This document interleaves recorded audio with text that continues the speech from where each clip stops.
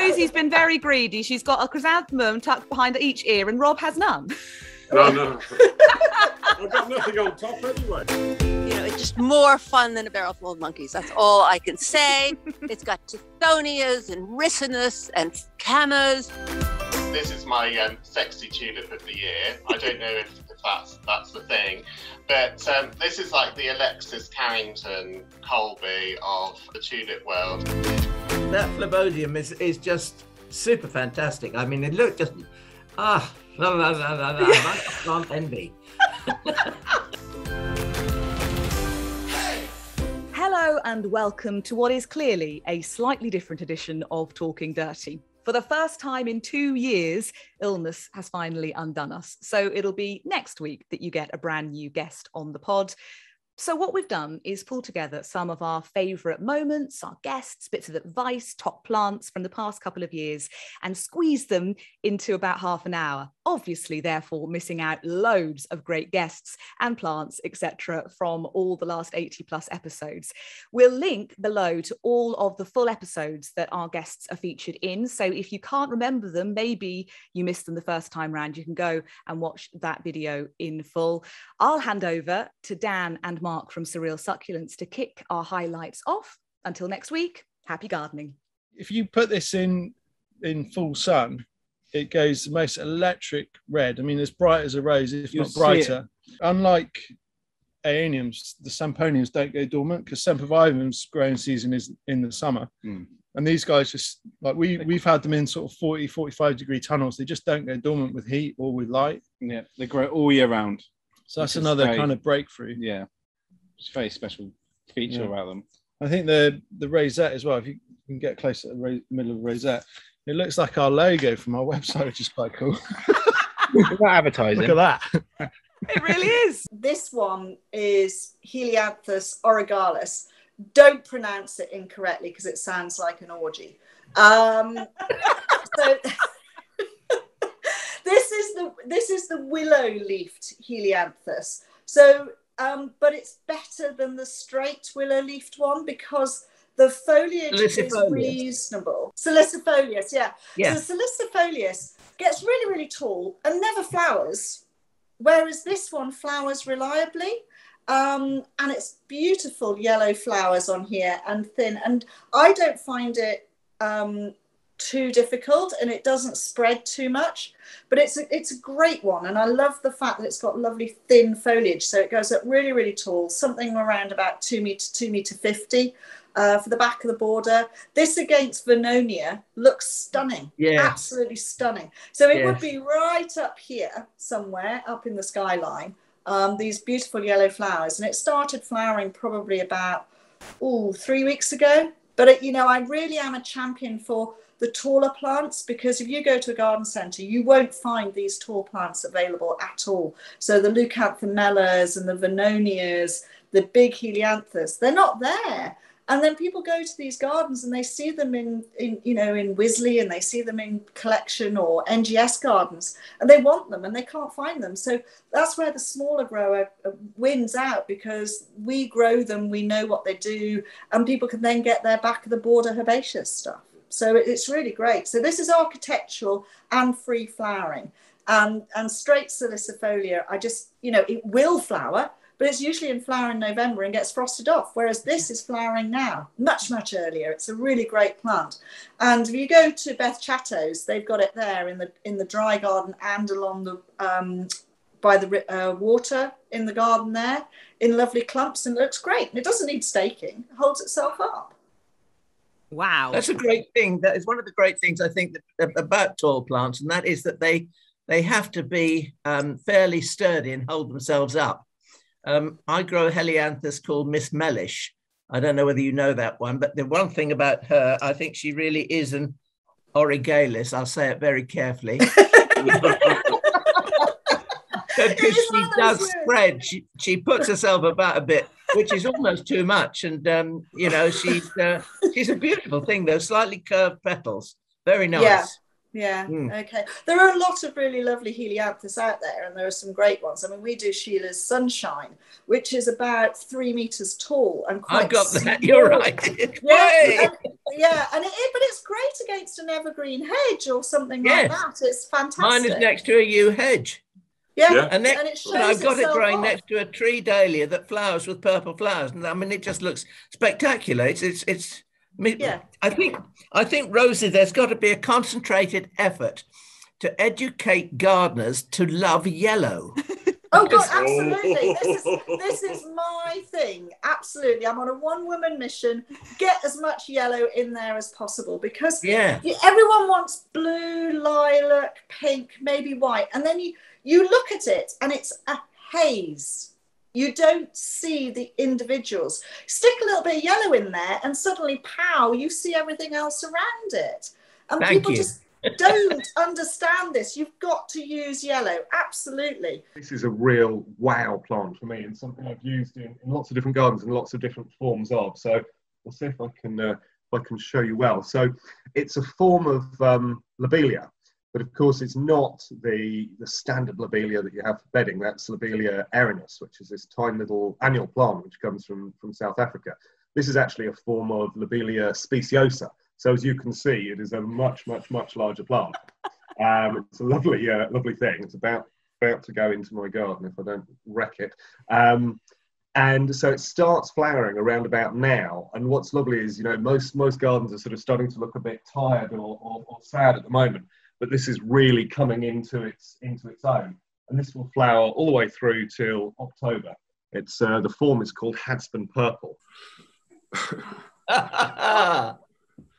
That's That- that's Lady of Shalott, which just I mean it just flowers non-stop. It starts it starts in sort of late May, early June, um, and it'll just carry on going almost continuously right through until I mean it'll still be trying to flower in sort of um, October, November, or even December, uh, and it just depends on, on what the weather's like. So this is um, grown either as a shrub or a climber. We've got it as a, a shrub in our garden here, uh, and it's not the best for fragrance, but it, uh, on a good day, uh, it, uh, it it is very very good indeed actually, and the most beautiful color. And and that you can imagine that with something like Aster, Aster Monk or something like that. The whole key to sweet peas is a deep, is a big root run. So when you sow them in November, you don't want masses of top growth. So you grow what's called growing them hard. You keep them very cool, and you just once they've germinated, you just want them to grow very slowly because that means that they're just putting more root down and less of all this stuff that ends up on the windowsill when you think should I cut it off and all that. So, um, so that, that's what you're aiming for really when you sow them. Um, and then the spring sown ones, sometimes they just catch catch up straight away with the autumn sown ones, and you think, well, what was the point of sowing them in the autumn?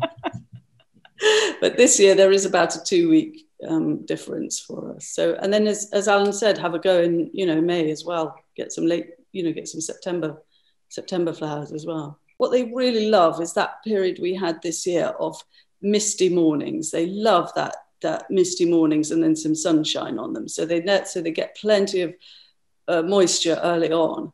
Um, what they don't like is these horrible springs we've been having recently, where you get a glorious Easter, say, and then it goes very dull and wet. That that stress stresses them a lot. We've found that we can ameliorate that by um, putting um, round the cones that we grow them on. We put um, fleece to about this high, and that just gives them a little microclimate to just stable stabilize the, this heat, cold, hot, cold. You know, because if they get going well, they usually just keep going well. This is this is my um, sexy tulip of the year. I don't know if, if that's that's the thing, but um, this is like the Alexis Carrington Colby of uh, the tulip world. It's it's a sort of very very 80s lipstick pink, and it's it's like um, shot silk. I don't know how easy it is to see, but that's called a, Attila graffiti, and I I quite like those two together. I think if you can see them together. Yeah. But I do like those kind of colour combinations, strong, strong colours. This is, um, I've cut a few stems. This is uh, pulvia, pulverulenta. And it actually, it seeds and clumps up. Um, and it, it, you know, you can divide it, you know, every two or three years. But it, the, the camera's not really showing off. It's quite an intense pink. Yeah. Um, and it's lovely. You can see the emerging buds. Um, I don't know if that's doing justice.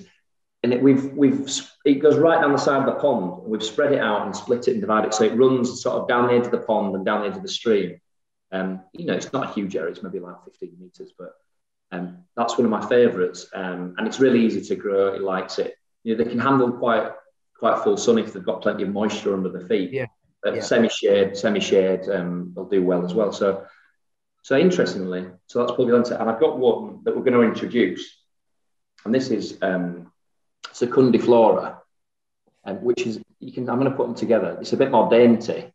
Um, it's a very very similar pink, and it's again it, it bulks up well. And rather than having, I'll leave that there for a second. Um, rather than having them all cross, I try we try to plant different species that flower successionally so that we can deadhead them before the next lot comes into seed. So, for instance, in one area under the tree ferns, we've got um, Primula japonica miller's crimson, which is lovely, and that does its thing in mid-May to, to June, and then that dies down. And we've got the Himalayan cowslip, Primula florindae, so that flowers after. So we make sure that we deadhead them so that they don't cross-pollinate. You don't get the Harlow Carr hybrids when they start to get the pastel colours. And then further through the garden, we have um, Primula beesiana, we've got Bulleyana, and then we've got some really new. Mark's just introduced some um, types, and then some really ones I've never seen before, like Muscarioides and Ledifolia. Just the list goes on and on and on for for, um, for primulas, but this is this is one that I'd like to see naturalised in the garden. So with no dig, you're, you're just thinking more what what is natural, and and just working out how you can do that. Starting out no dig it can be difficult because you've got to get rid of weeds if you're starting with a weedy plot. And how do you do that without digging? And no, there's no need to remove the turf or anything like that. But it is cut. That's where cardboard. I mean, you know, that's probably wasn't around for the Victorians. So um, brown cardboard. Some people worry about the glues and things in cardboard, and I don't really know. I've done, investigated as much as I can. I saw a study from Stanford University which found that fungi in the soil actually eat glues. You know, they positively enjoy them. Well, I don't know if they phrased it quite like that, but there are possibilities to um, get rid of weeds in very natural ways, and you only need to do that once. Um, you know, this is where I find actually teaching can can lead you up into difficulties because then some people seem to think that you have to use cardboard every year, and you don't. You know, it's just an initial one-off phase. Get rid of the weeds, and then no more cardboard after that. So it's it's quite a minimal dose um, and, and, a slightly higher dose of compost at the beginning, maybe um, two, three inches, five, seven centimeters. Depends how, how much weed you've got, how much compost you can get hold of. But it's it's a one-off using a, a larger initial dose, and then going forwards every year, I'm putting on now on my beds about one inch, three centimeters, something like that, of compost to maintain the biological activity. Think of it in terms of not bringing in nutrients so much as stimulating soil life to provide the nutrients which are there already. Most soil is actually in pretty good state nutrient wise, not all, but most. So it's you're enabling. Ribes, is it laurifolium? Yeah. Laurifolium. And it's a bit more of a scrambling beast.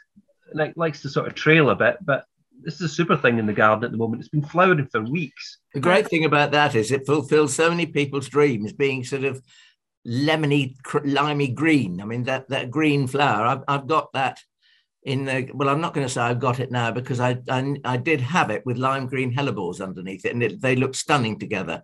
But I think that may be a piece of garden that's got rather neglected. So I don't know whether it's still there, but I definitely have Amy Doncaster. And the great thing about Amy Doncaster is the fact that that shrub will grow in a north-facing position, so it will grow in shade. Yeah. And it is beautiful as well. We Yeah. can almost relive your Hey! combination. like we planned it. Just hold those two up together again because uh, you know so people can see how well. Yeah, you see, it's lovely, isn't it? one of the things I discovered with aerial rooting climbers that it's very difficult to get them to stick to the walls, to climb up the walls. And uh, a chap who was working here at the time said, "Well, haven't you tried this system? Uh, it's, it's a it's a bit complicated to explain, You like that? So you might get bored. You might fall to sleep by the time I've finished." well, I always recommend getting the plant like this rather than on a stick. Yep. Um, it, it's fine leaving having them up, growing on a stick um, to keep them uh, out of trouble. They snap quite easily. They're fairly uh, flimsy. Uh, um, what we do is we get a plant like this, dig a hole, for, obviously for the roots, and then um, you plant it 30 centimeters away from the wall. If you want to keep metric. Parallel to the wall. No, no, the, the actual roots, Yeah, the yeah, yeah. main roots. Yeah, And then you run these long stems parallel to the wall, at, at least 15 centimeters away from the wall. And you bury them. So peg them down. Bury them. No, no, don't peg them down. You bury them. Right. You just have the growing tips, the tiny leaves here, Yeah. uh, sticking out of the ground so they can photosynthesize. Then what you'll find is like you see ivy growing in a forest. That's what you're trying to mimic. They will send up a shoot and it'll creep along the ground. And you'll get what I call terrestrial roots from those. And as soon as it hits the wall, it gets aerial roots and it goes up like a rocket. I, I reckon you can uh, save a minimum of three years by doing that. Oh, that's terrific. Um, we it's, a, it's a really good tip, actually. Yeah. we we put in um, Schizophragma integrifolia. I don't know whether you've planted that. Yeah, yeah. Hydrangea Um, relative. Yeah, it- it's got it's quite notorious of being slow. Yeah. Well, three years we it was up twenty foot wall.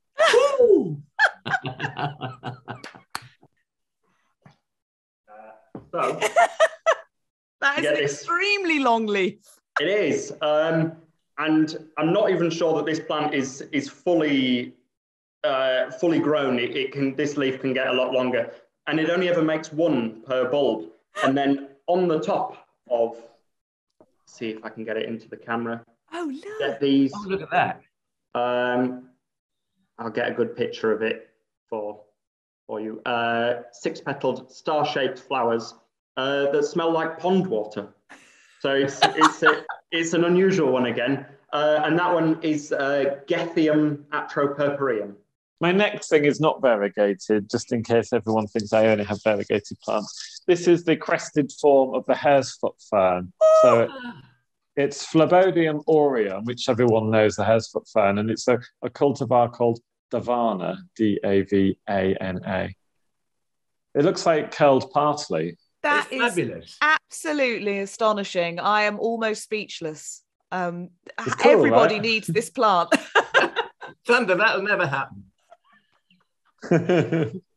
that that phlebodium is is just super fantastic. I mean, it looked just ah la la la la la. I plant envy. so my my office is north facing here. I've got two quite big windows north facing, and it's really happy. So there's not much direct light at all, and it's very dull in the winter. But it's it's good. It's huge. You've got to look at their origins. They are basically a man made plant, but the two parents are both um, mountain plants and they grow between three and 8,000 feet. So they need light, they need lots of air, you know, which they get on the mountain mountaintop, and they want to be cool, particularly cool at the root. Right. And those are the three key things that I think you need to bear in mind. One of my favourite posts from you the other day was how you'd been auditioning your auriculas to go in the theatre. yeah, I love doing that. Just picking out the nicest ones to, to put on display. And So how got- long how long were you auditioning your auriculas for, Jane Ann? It took me 10 hours. I've got 700 plants about, and um, you know, they've all got to be sort of staked and looking lovely. It's ridiculous, but you know, why grow them if you can't sort of show them and enjoy them? And what crocosmias do as they grow is they make the new corm underneath, and then they make the new corm underneath. And when a crocosmia has been in for about five years, it goes down very deep, and there's a string of corms, and this helps its hardiness. So with this crocosmia, which I have lost before, and I advise everybody to do this if they're buy crocosmia at this time of year, is to put it in a pot, not in the garden, and allow it to have a couple of years in a pot so that it can develop some corms, uh, deeper corms underneath. We call them shapes in the landscape. Yep. And the shape closest to us is the one that had the weeping ash in it. And that Yeah. where the weeping ash was is now just this amazing b- bombast of color. You know, it's just more fun than a barrel full of monkeys. That's all I can say. it's got tithonias and ricinus and uh, camas. Should I go through the individual plants? Yes, please. Why not? uh, okay, there's loads of different things. Ricinus is the uh, uh, castor oil plant. Here we are. And this one's New Zealand black. It reflects the light. So the the, it's the darkest color you can imagine, but it reflects the light. So it's looking pale. Can I, if I go around the corner, will it look darker? Oh, no, it just does. It's the, it has a beautiful texture to the petal, sort of satiny and reflective, even though the color is really dark. Um, and I love that. I like, I love dark foliage, which is reflective. So it catches the light. Uh, these are insanely big. They're about as tall as I am. Uh, and they were sown at the end of April. So they've been, they are, what is it? May, June, July. They're three and a half months old and five foot tall. You know, I just anything that does that. And also behind them is the Tithonia, the brilliant orange. Can you see these? Yeah, they're Yeah. Brilliant orange, like they're, they're called the Mexican sunflower, but they're not really sunflowers. But it's the most wonderful, glowy, glowy orange. And they're five foot tall, again, sown at the end of April. So, I mean, with annuals, you can make the most extreme amount of volume and color and size and bold, dramatic stuff going on, which is, I love that. Um, there are some things that aren't annuals. There's a wonderful canna here called Tropicana Black. Has a red flower. There's one over on the other side, which is in flower. Oh yeah. Uh, whoops, the flowers are going over a bit, but you get the color. So it's- Yeah. that's also has the high drama color. Uh, But this wonderful leaves, and again, that sort of sheen on the leaf that reflects the light. Although they're very dark, they reflect the light, which is just, I think, beautiful and sets off the orange amazingly. And then is in amongst everything else down below, we have this lovely uh, coleus, a extraordinary coleus, which is somehow red, orange, and purple all at the same time. Um, and a tiny new zinnia. This was new last year. There's maybe they they, they change color, and there I'm there should be some dark red ones. I don't see any dark red ones here, but they change color from orange to yellow and orange and red. It's called Zahara fire, and that stays very small. That's only about eight inches high and makes a little dwarf sort of clump, very tidy-minded plant. And a new Bidens, or at least new for me. Am I going to remember the name? It's so new. Something Margarita. Does that make sense? Do you know this, Alan? No, I well, there's a whole range of them that have been brought out as patio plants, but I didn't look at them to be quite honest. I know. I th- I mean, I didn't. I don't approve of things like tiny little Bidens here, but they have been wonderful. They just they have flower and flower. Oh, here's a really good one. They Yeah. just flower their silly socks off for months. They never that- stop. That just and they sort of shows, sparkle. Sorry. Derry, that just shows the importance of trialing a plant and using it, even if you don't like it. Just use it and see what it does. Yeah, yeah. And you really almost, it's wonderful to see it in somebody else's garden or in a trial garden, but it's the best way to really know about a plant is to grow it yourself. Yeah. Yeah. If you don't grow it yourself, you don't really know how good it is, how bad it is on a bad day. yeah. Yeah. And that um, coleus, the combination of the coleus, the Bidens, that little zinnia, Yeah. it means that your carnival bed has this absolute carpet of different shades of orangey, pinky. Yes. Oh, it's yes. it's, it's such an amazing, um, such an amazing And- carpet at the bottom. The other thing that's hiding in there that you can't really see is there's some double nasturtiums, red and orange. There's the double nasturtium. That's uh, Margaret Long, very double. So this is Benary's uh, giant orange zinnia, which I never liked Benary's zinnias before. In fact, I never really liked zinnias before, but I've come around to them this year. and here's the little cosmos I was talking about. Cosmos sulphureus, um, cosmic red. It's not, uh, oops, never mind. Uh, it's actually, it looks paler than it is. In real life, that's bright orange. I, but it looks to me kind of pale in there. And above it, you see the grass, this lovely, delicate grass, which is growing through everywhere on top of everything else, just sort of softening it. Does that sort of make sense? Yeah. Um, you get it's called frosted explosion, and it's the best cut flower thing there ever was. At every stage, is a good cut flower. It lasts forever. It makes other plants look good. Um, if you have, you know, thing like heavy, like dahlias, and you put some of this frothy, thin, beautiful things. They're beautiful when they're fully open. They're beautiful when they're just beginning to come open. They're just lovely. Even in seed, they're really nice. Just that Just one one- flower bed, Derry, is just so much inspiration in that one flower bed. No wonder There- you keep there's going so and much looking fun at in it. It's just it's such a hoot. That's what. It's fabulous. I love it. And this is, if I can get it in shot, um, Elymus canadensis. And this is a lovely bluey grey leafed and flowered version called Icy Blue. Um, and these bottle brush like plumes are they're enormous. They're, well, you can say full length of my hand and at least half the width of my, my hand wide. This is my favourite fern I own, and it's uh, hard to pronounce this one. Neolepisorus ovatus, and it's ovatus variegata. So there is a plain green form, and this is the variegated form, and those leaves are absolutely beautiful. They're my favourite fern I grow. It's everybody that comes in says, "Can I have a cutting?" No, I, haven't, I haven't actually split it yet, and, and, and until it fills this pot completely, I'm not going to because I just love it. It's it's it's the most magnificent fern. Has it had any spores on the underside of the leaves yet? Uh, no, it hasn't. No, I don't think any of these have produced spore. Oh, yes. Whey! Very simple spore. Yeah, in fact, I think that one is as well. Oh, yeah, look.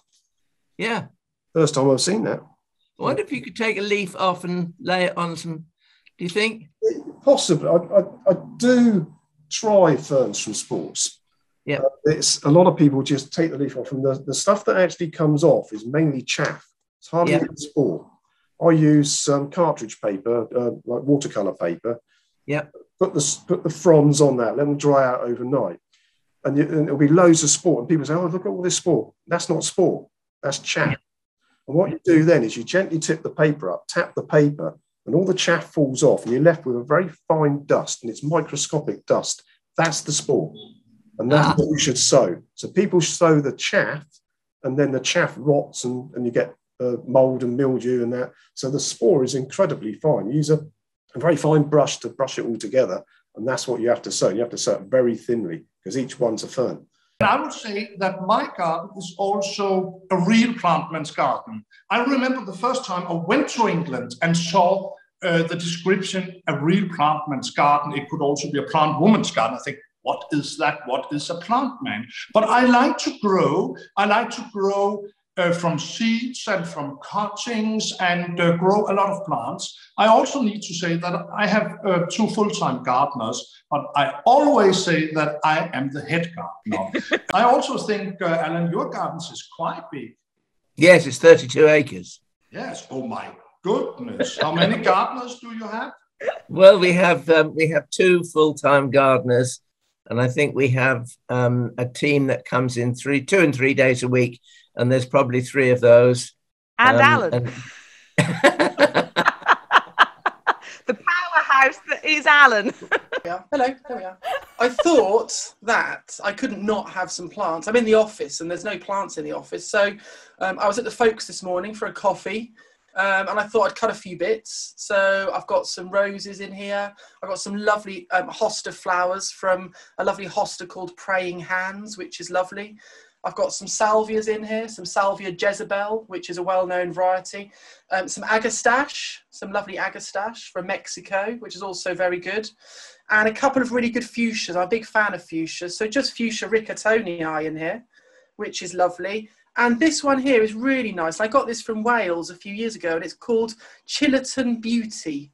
And it's absolutely lovely. It's a great hardy fuchsia. It really is fantastic. So I thought, well, at least I can show you a few flowers. And the scent from these roses, oh, it's absolutely fantastic. And I love propagating like bananas. My plan was to do a whole area of bananas this year, like over a hundred bananas or more.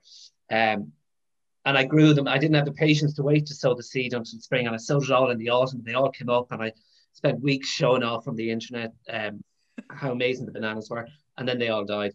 Um, they just didn't like, you know, there were small banana plants going through winter. They get green fly. They're all dead. Um, but anyway, I'll buy all the seed again, and I'll sow it now at the proper time in, in March. We're over a thousand varieties in bearded irises alone now, uh, and we, we have loads of different Sibiricas and daylilies and all sorts of other stuff growing in the beds. Like the Fium collection is now making its way, pushing irises out of the way in the shady spots. Um, so it, it, it's really um, finding what I had, if you like, for that first year, and then working out what I was going to do with it. I, always think they're a bit like myself, really. They're quiet most of the time, but when they when they start talking, you can't shut them up.